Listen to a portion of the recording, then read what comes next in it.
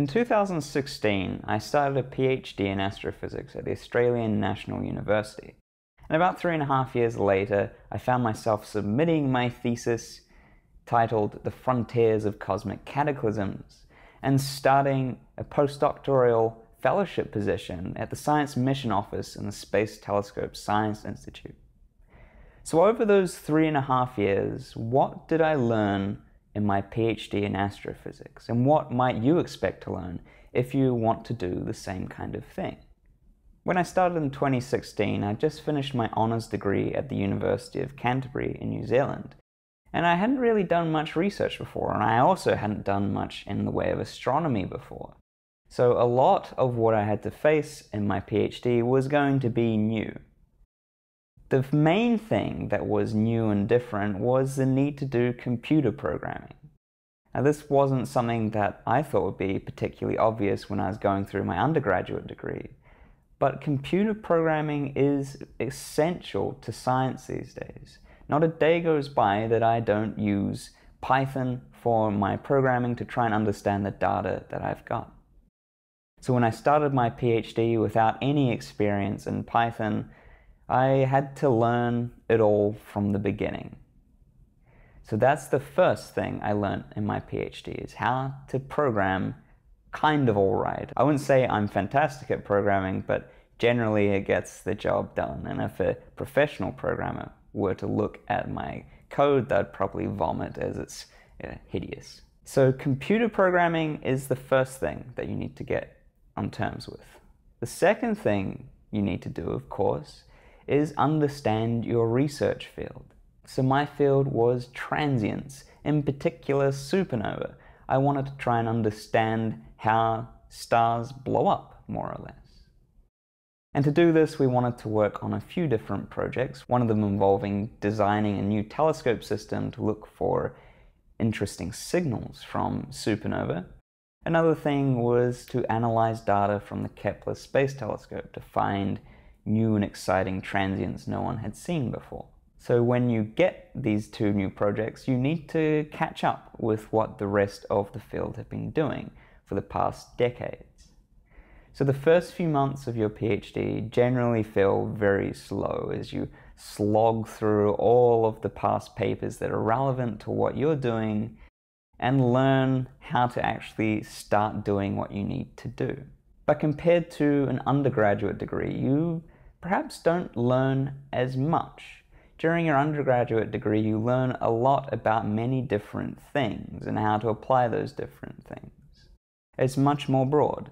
In a PhD, it's much, much more refined. So, what you're learning about is pretty much specific to your discipline, what you're researching. So, in some ways, perhaps it doesn't feel like you learn as much but you become much more specialized in what you're doing. In my case, it's with explosions and analyzing data from kind of broken space telescopes. In the beginning of your PhD as well, you kind of generally have no idea what you're doing. You have a reasonable understanding, your supervisor will give you uh, some projects to work on. But those projects mm, are probably not as well defined as what you're used to. So you need to start scrounging around and trying to work out what you need to do to advance your project. So this is kind of the biggest aspect you learn in a PhD is how to actually do research. During your undergraduate degree, perhaps you might do a few small research projects. Those research projects will generally be pretty well defined and the supervisor will know exactly what they want to get out of you from that project. But with a PhD, it's kind of three years. So in the beginning, you're set loose. You need to work out how your work will fit into the field that you're going to be adding to. And then, of course, work out how you will do your research and add to that greater body of knowledge. So as time goes on, you start to play with data and you get more comfortable with what you're doing. And then, kind of near the end of the PhD for me, I started realizing that I knew what to do with data now. If I had to help, uh, say, an undergrad student with doing some research, I could see that I'd learned a lot more about how to do research compared to what someone who hasn't spent a few years in a PhD did. And that was pretty cool the ability to see some problem and then think through all of the ways you could address the problem and hopefully come to an answer at the end of it. Now, this, I'm pretty sure, is the main point of a PhD. It's to teach you how to research. During, say, high school or your undergraduate degree, the emphasis is on trying to learn how to learn. But once you've done learning how to learn, the trick is to learn how to apply what you know to try and understand something new, something no one else has ever tried to do. And that takes quite a lot of time and quite a lot of guidance. So, your PhD supervisors and your friends and colleagues will be instrumental in helping you through a PhD. And another thing you learn from a PhD is, was at least surprising to me, you can't work all the time. So during my undergraduate degree and my honors degree, I worked pretty much continuously for those three years. And it was tough, no doubt about it. And going into a PhD, I had the same kind of mindset thinking I had to work all the time to get to where I needed to go.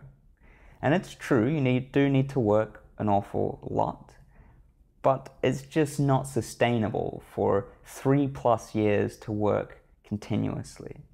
It took me a while to cotton on to that, but once you do, things start to get a little bit easier because you're not always throwing yourselves at a problem which you don't really know how to solve. It's better to just kind of take some time off a problem and eventually come back to it. And when you've come back to it with a fresh brain, you'll probably see something you didn't see before. This has happened to me numerous times. There are some other things you learn about presenting your research as well.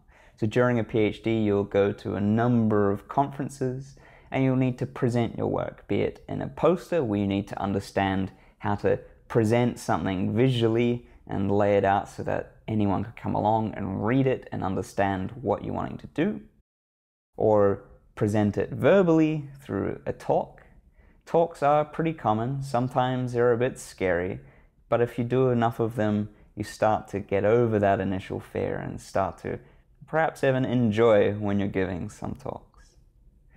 But the biggest thing that I'd say quite a lot of researchers dislike is writing papers. And this is kind of the focus of the PhD. You do your research, but doing your research doesn't matter if no one knows what you've done. So then you need to write up your results in terms of papers, and you publish those papers. In my case, I needed three papers that had been more or less accepted into journals. And this is kind of tricky. It's its own skill in its own right, trying to write scientific papers. In some ways, you need to be uh, very formal in other ways. You need to be entertaining and engaging because there's nothing worse than trying to slog through a completely impersonal and uh, rigid paper. So the objective is to get people to read what you've done and understand what it is you've done and understand the importance of why you did that thing. So learning to communicate your research is an incredibly large part of your PhD. So those are kind of all the major aspects of your PhD. Unsurprisingly, you'll learn about the field that you've specialized in. For me, it was supernova. And you'll learn about uh, a number of other things. Perhaps most surprising to me was the time management side of things, making sure there's downtime and you're not driving yourself completely mad with work. And then there's the programming, which is crucial. So if you're wanting to do astrophysics, I'd recommend you take up a few programming courses in your undergraduate degree. But as I said before, the biggest things you learn from your PhD one is communicating your results, and two is actually learning how to do research. So if you have any questions as to what it's like doing a PhD, or if you're wondering if doing a PhD is right for you and if astrophysics is something that you should get into. Leave a comment down below and I'll be sure to answer any questions that you may have. Thanks for watching.